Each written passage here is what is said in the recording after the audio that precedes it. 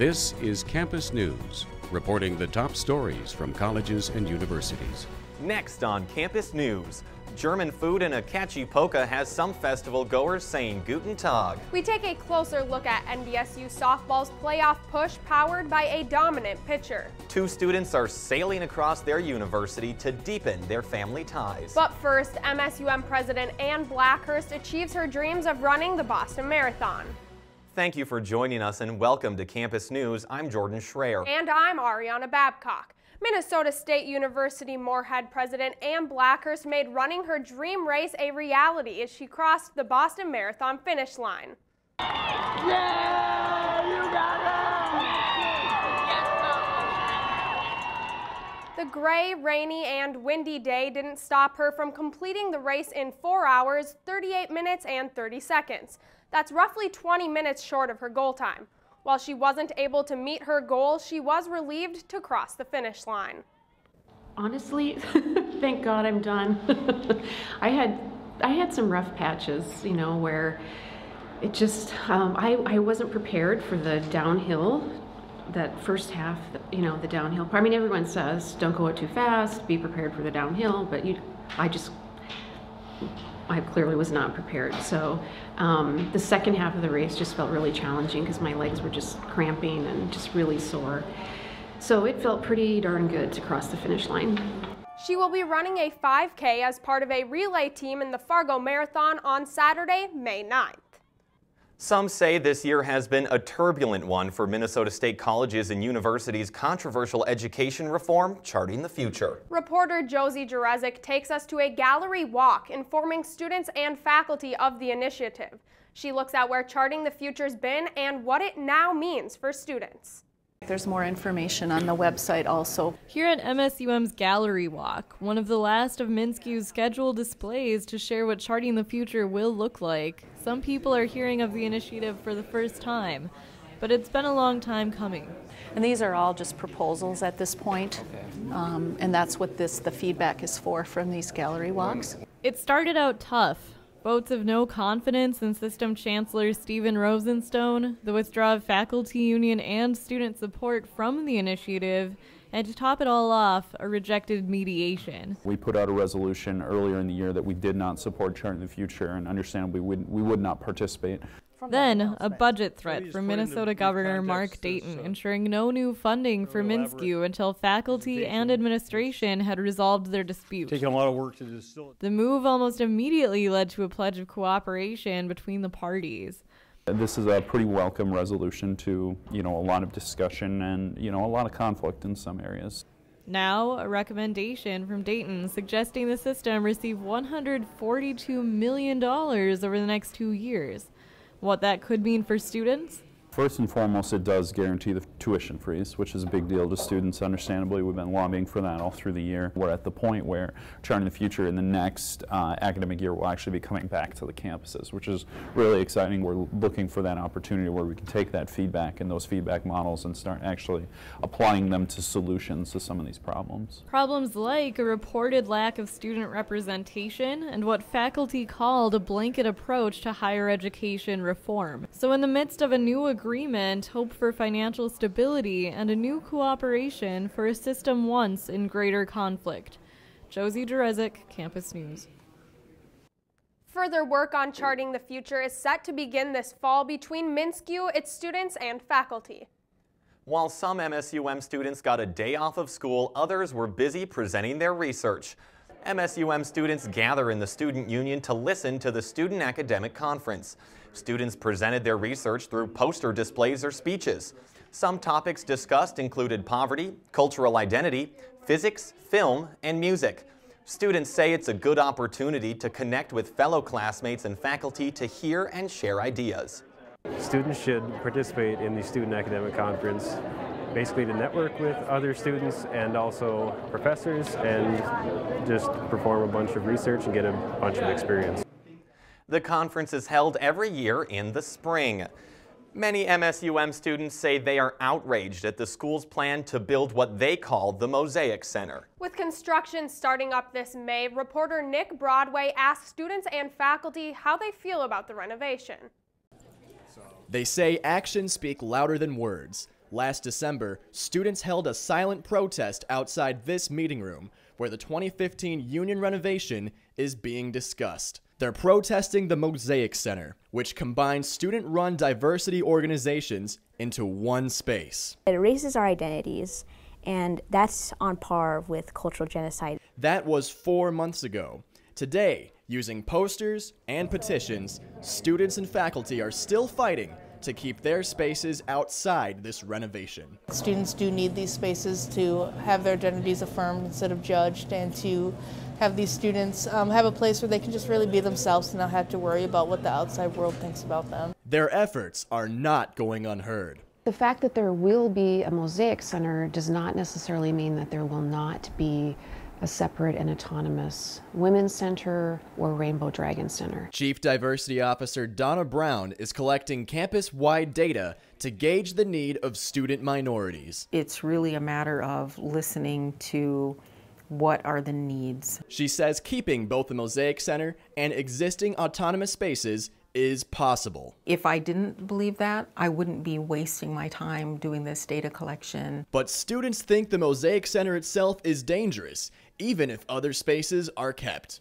If you're trying to have the campus LGBTQA organizations in the same room as some of the campus religious organizations, expect we're going to get along, you know, that's one of the reasons why some of the safe spaces are there to begin with. To many students, these spaces mean much more. You're taking away something that's important to me. You're taking away my home and why I came to this college. I just wish I was listened to. I wish I was validated on this campus and my experiences matter, but I don't know if they do necessarily because I'm not listened to. With photographer Eric Anderson, Nick Broadway, Campus News. The American Indian Research and Resource Center will remain after the new Mosaic Center is built. Faculty have not confirmed if other organizations will stay, but the issue is still being discussed. Building planes and bridges was the mantra of the day at NDSU as some middle and high school students put their brains to work. The students gathered from all around North Dakota to take part in the Science Olympiad. Their creations included airplanes, bubble rockets, and bridges, among other things. After working with their coaches for months, the students displayed their projects to be judged by some NDSU students. We come here to have fun. The key to the Science Olympiad I've always felt is fun. And sure, if we get some medals along the way, that's great, but whatever we learn from the process uh, helps us when we go on down the road. The students' projects were judged in different categories, including engineering, chemistry, and technology. Many know someone who's had cancer and the terrible side effects its treatment brings. But what if the side effects were no more? ToxoSafe is a treatment where cancer patients will get fewer side effects while receiving chemotherapy. NDSU student Prajakta Kulkarni has been researching this approach in hopes the treatment will no longer weaken its patients. It works by drug carriers recognizing where the cancer tissue is and delivering the drug only to that area. Kulkarni is currently testing the treatment on mice with pancreatic cancer. Update to a story we brought you earlier this year, cockroaches earned an NDSU student her way to free college. Bridget Eklund received the Goldwater Scholarship, which will cover her tuition, fees, books, and living expenses. The scholarship will total $7,500 each year. Eklund is currently using cockroaches to study a bacterium that can cause a deadly disease called tularemia. The Goldwater Foundation has presented scholarships worth about $48 million since its beginning in 1987. Colleges around the U.S. are part of a growing campaign to raise awareness about sexual assaults on campuses. Reporter Maddie Jalseth went to Slut the Play at NDSU and shows us how performers are bringing a statement to audiences. I hate myself right now. Slut the Play is a story of a young woman who gets raped in the back of a cab by her guy friends who she went to go party with. She tells her side of the story while other people blame her, the victim of the rape. Haven't you ever done a stupid thing? I really like the message that the play talks about, um, about the rape culture and slut shaming and how language can affect everything we do. In that moment, I was drunk. When women do things that put them, that they either get sexually assaulted or they um, sleep around or anything like that. In our culture, I think the go-to word is slut, no matter what people think about. Students at NDSU say they are excited to put on a play with such a powerful message. I auditioned and I got a role, and it's been really fun, so I'm glad that I was a part of it. According to a study by the National Research Council, about 80% of sexual assaults go unreported, a statistic these ladies hope to reduce. With photographer Maddie Werdinger, Maddie Jalseth, Campus News. Concordia College brought a small piece of Deutschland to Moorhead. Veronica UTech reports how the community came together to celebrate with food, music, and everything German. Um, willkommen zum Deutschen Fest. Ich hoffe, ihr habt Spaß. Welcome to German Fest, and I hope you have a lot of fun. That is what the Concordia German Club says while welcoming the community to GermanFest. Their goal was for everybody to enjoy and learn more about German culture. We have the German candy, which is really nice, and the German music, so it's pretty authentic. German sausage, sauerkraut, cabbage, and kuchen was served, and everybody stopped to admire the German decorations. It Turns out well. I think if we can get the audience to participate like they are now, um, uh, whether it's eating food or singing along or just uh, listening to the music, I think that's great. The festival goers really got in a celebratory mood, linking arms with strangers and singing German folk songs together as a community. Und heute ist ein wunderschöner Tag. And it certainly seemed like a wonderful day for all who attended. With photographer Randa Cody, Veronica Utek, Campus News. This is an annual program that takes place in the spring. Pop it, lock it, and drop your money off at NDSU. NDSU's annual Hip Hop for Hope charity event was this week. The slogan this year was all about that bass. The event hopes to feature local rappers, singers, and breakdancers. Proceeds will be given to Unseen Ministries, a nonprofit that helps fight human trafficking and works to end hunger and poverty. Next week, reporter Haley Foster takes us behind the scenes with the sponsors of the event, the NDSU Hip Hop Team. For some students, sailing a styrofoam boat in a swimming pool can be as good as going out to sea. Reporter Andy Weston tells us how members of NDSU's sailing club share ties that go a bit deeper. Jenna Gallagher grew up sailing with her family a tradition inspiring her to form the NDSU Sailing Club, a passion that's obvious when she talks about going out on the water. Whereas the scows is like this, and you usually have a strap for your feet, so you're not hanging on, you're just holding yourself by your feet. It's kind of fun. Jenna knew it would be a challenge to get people from the area involved. So we just kind of started as a joke, didn't really think it would take off at all, and more and more people just started getting interested and they're like, that sounds awesome. And so it just kept growing from there. With the club up and running, the group decided to widen its reach. They gathered with MSUM students to challenge each other at boat building, knot tying, and test taking. While bringing these schools together, Jenna relied on her family ties. My Sister is a freshman here at MSUM, and so I, you know, I told her I was like, hey, we should do a team event and you know, kind of compete against each other, have a friendly competition. Shannon was more than happy to work with her sister. Thanks. My sister especially has really gotten into it, and so she started the NDSU Sailing Club and kind of just brought me with it. I'm, even though we go to different colleges, it's been awesome that we've been able to do this together. A familial bond tying two schools together in their passion for sailing. Andy Weston, Campus News. The Gallagher sisters' ultimate goal is to expand the sailing club into a tri-college event between NDSU, MSUM, and Concordia. Most students are used to seeing birds, squirrels, and dogs around campus, but not many students are expecting to see parrots. MSUM professor Chris Chastain walks with his two parrots, one on each shoulder around campus. After doing research work in Australia and getting to see mini parrots, he says he needed two of his own. He has had the Congo Hannah for 20 years and added the Timneh parrot Muffin to the family 10 years later. While he steps onto campus, he says students often want to visit with his pets. Although he says he can expect a kiss or two, he says he spoils them like a child. Like a couple of two-year-olds, very much, much like having two-year-olds. You know, they can't take care of themselves, but they need play, they need food. Parrots have an estimated lifespan of up to 50 years. Concordia professor Jonathan Clark received a unique opportunity to travel all the way to Germany to help trace a famous singer's ancestry. Reporter Betsy Harmson tells us how the professor was part of a national TV show to find a long-lost relative. Saying, uh, you know, what do you notice on this page? Jonathan Clark is an expert on German studies, so it's no wonder he found himself shoulder to shoulder with Josh Groban, translating ancient German documents for him to view. You can see the whole stars and everything. The Um, TLC show, Who Do You Think You Are, helps stars trace their ancestry back to their origins. For Josh Groban, that led him to Germany. But they couldn't tell me the name of this person until I signed all sorts of confidentiality uh, statements.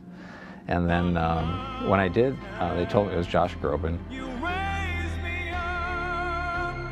And I said, well, that's kind of cool. You know, my, my daughters love Josh Groban. After looking at some extremely old documents, Groban found that he had a great grandfather eight times removed that had actually been a brilliant astronomer, having been mentioned by Sir Isaac Newton. Interesting. There, I sat in, um, in a church in Bietigheim, Germany, and um, I got to guide Josh Groban along with his ancestry.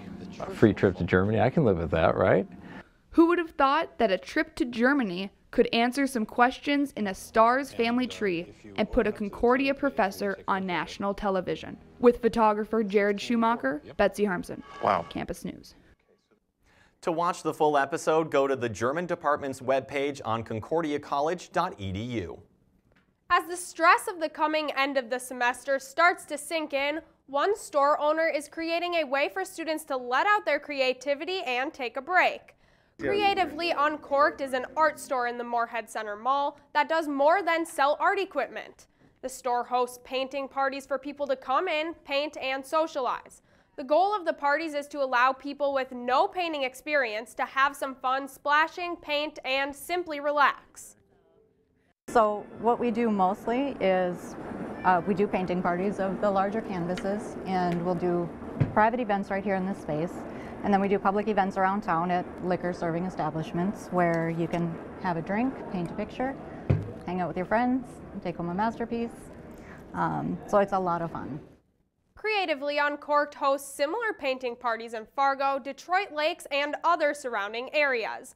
Like the old saying goes, you never forget how to ride a bike. Reporter Haley Warnicki tells us how college students can dust off their training wheels and grab a bike at the Great Rides Bike Share program.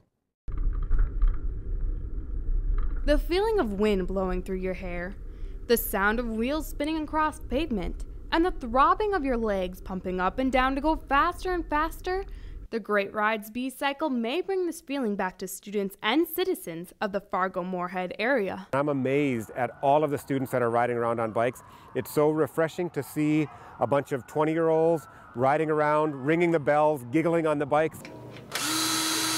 Great Rides Bike Share program has 101 bikes and 11 bike docks located in downtown Fargo and the NDSU campus. When we were expecting 100 or 200 rides a day, we're getting 500 or 600 rides a day. So it has been just amazing. The program is mainly NDSU based, but the expansion to other colleges has come to mind for some employees. Once the other colleges see the great success we're having on the campus of NDSU, we'll see requests to, uh, to push this to the south and east. The employees at Great Rides say the community is behind the bikes and is in charge of taking care of them. With photographer Louis Johnson, Haley Wernicke, Campus News. A day pass is $6 and a year-long membership is $75. And now we turn it on over to Shaylee Meyer for a look at this week's sports. Shaylee, the Bison football players had a chance to show off some of their talents. They definitely did, Ariana. Football fans in Fargo may be shopping for new jerseys after they see where their favorite former Bison end up in the upcoming NFL draft. After their fourth consecutive FCS National Championship, several Bison are hoping to continue their careers at the next level. Eight former Bison players participated in NDSU's Pro Day on March 26th, including John Crockett, who was highlighted by E ESPN's Draft Day. Pro Day allowed the men to showcase their talents running drills in front of scouts from the Minnesota Vikings, Jacksonville Jaguars, and Philadelphia Eagles. The day of Pro Day, I was just excited to be out there. I didn't think I did that well at first, but then after seeing the numbers, I actually did better than I thought. There you go, Carl. The NFL draft begins April 30th and ends May 2nd. Rookie training camps begin on May 8th. And while some Bison football players are getting ready for the draft, one is starting over in another sport. Kerry Woods is giving up his spot on the football team to walk on to the basketball team after three seasons, including one year as a redshirt freshman. He'll have two years of eligibility for basketball. The 6-foot, 195-pound receiver had 16 catches last season for 165 yards. He made an impact in the FCS quarterfinal playoff win over Coastal Carolina with four catches for 48 yards. But now he's taking his talents to the hardwood. At Bemidji High School, Woods was a three-year starter in basketball and averaged 20 points and six rebounds per game in his career.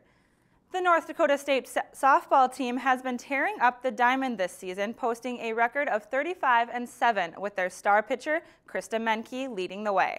Turner Blofis takes us to Ellig Sports Complex for a look at the Bison Ace. The NDSU Bison are at the top of the Summit League, and one huge factor is their senior pitcher, Krista Menke. The right-handed hurler has been ripping through batting orders and currently holds a 25 2 record. We knew that we always have a tough preseason, and so we go out there and give it our best shot. And um, this year we just happened to come out on top on a lot of them, so it was good. Menke was dominant against conference foe Fort Wayne. Number 5 threw her first career perfect game and followed it up with a one-hitter in the second half of the Saturday doubleheader. Head coach Darren Mueller said Menke's teammates feed off her play. And so I think it says a lot. We always talk about how your body language and your approach is out there when you're pitching. And if she stays and just is Krista when she's out there pitching, we do a great job. Menke's gem was her third no-hitter of the season and the fourth of her career. Opponents in the batter's box struggled to even put the ball in play, as Menke has struck out 301 hitters on the season. The senior Bison is one of the main team leaders, and her coaches constantly push her. Coach Mueller noted Menke's ability to accept criticism and continue to improve. I think that's that's a big plus for us, and I think it says a lot about her to be to be able to see these good performances and also maybe have a bad one. It's nice just to have a pitcher that's really uh, has that maturity to be able to do that. A pitcher is nothing without their catcher, and having Alyssa Rena behind the plate is another advantage for Menke. The prolific battery credits their successes to their strong chemistry. So I think that she can really accomplish anything that she puts her mind to. We talk on and off the field about pretty much everything, so we're pretty close as a battery. Menke and the rest of the Bison hope their strong chemistry can carry over to the Summit League tournament. Menke said her team doesn't focus on one singular goal, but a second straight trip to the NCAA tournament is likely at the top of their list. With photographer Meg Kime, Turner Blofis, Campus News Sports. NDSU heads to Mobile, Alabama to take on the number 21 ranked University of South Alabama in a three-game series this weekend. This is the Bison's ninth consecutive 30-win season. One of Concordia's student athletes is taking home an award for not only his effort on the track, but also his work in the classroom. Cobber Jr. Gabe Wright received the MIAC Elite 22 Award in track and field. The award is presented to the student athlete who competes at the top level in his or her event and has the highest GPA among other candidates. Wright has a 3.995 GPA and was named to the all-conference team in the heptathlon, as well as MIAC Honorable Mention honors in the high jump. Wright is a Moorhead, Minnesota native who is majoring in mathematics. As the national debate continues over whether or not college athletes should be paid to play, the University of North Dakota is preparing to pay some athletes the full cost of their attendance and some living expenses. Athletic Director Brian Faison says concrete numbers will be available soon. For now, UND is figuring out how much it will cost to pay athletes with what they're calling full amended grant in aid. This will include tuition, mandatory fees, room and board, books, and personal expenses like transportation. Shaylee, I wish that I could get paid for playing sports. Sounds like the life. Yeah, you better start practicing, Jordan. I would probably just stick to anchoring. Thanks, Shaylee. What began as another role in another play became a new opportunity for an MSUM student. Haley Warnicki reports how one student uses his love for film to create a video trailer for a play that's known for pushing the envelope. Seeing the barely clothed actors on stage may have made some want to scream. The Scream being a play about a god that wants to be recognized as a divine being. There are so many different variations of a scream, from joy to pleasure to terror, and they all they all happen in the show. There's so many different variations of the scream. McCade Riemann created a short video to promote the play, and he put it on YouTube to attract attention. How can I get people to come to this? And how can I display all the crazy physical stuff that we do in the best way possible? He hoped to grab people's attention. To do this, he added his own type of hype. There's this one flip that Jack, the um, one of the breakdancers, does where he lands on just square on his back, and I reversed it after he landed, so he, so it's like he flies up. So I just think that part turned out really cool. Some of the people in the audience didn't know what to expect, but a few had one thing that really stuck out in their minds. The dancing and all their movements, like the musical parts. Uh, I thought it was beautifully done, and I definitely could not do it. Dancing was very wild. The uh, young guys, when they did dance, boy, they used a lot of energy. Since April 6th, McCade's video has nearly 600 views on YouTube, with photographer Eric Anderson. Scream. Haley Warnicki, Campus News. McCade says he hopes to make trailer videos for future MSUM productions. And that's it for this edition of Campus News. We leave you with the scream. Thanks for joining us and have a great week.